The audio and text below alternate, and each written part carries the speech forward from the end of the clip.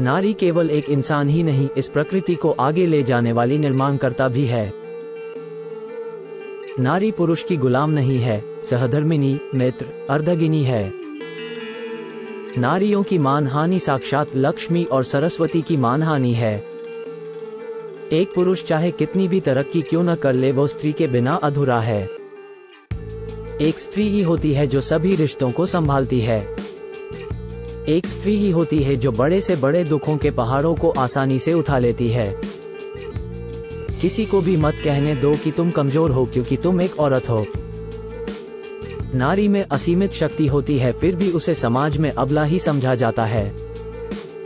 यदि नारी सुरक्षित है, तभी हमारा भविष्य सुरक्षित है। जहाँ स्त्री का सम्मान होता है, वहाँ देवता वास करते हैं और वहीं पर ही सुख समृद्धि होती है। स्त्रियाँ पुरुषों से अधिक बुद्धिमान होती हैं, क्योंकि वे पुरुष से कम जानती हैं, किंतु उससे अधिक समझती हैं।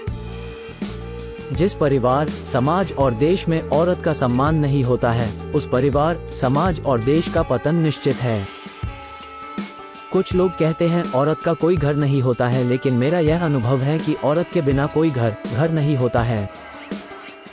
प्रेम किस प्रकार किया जाता है, इसे केवल नारियाँ ही जानती हैं।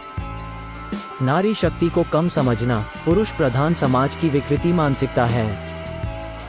अगर आप यहाँ तक पहुँच गए हैं तो आपको हमारी वीडियो अच्छी लगी है। प्लीज़ इस वीडियो को शेयर करें और चैनल को ज़रूर सब्सक्राइब करें।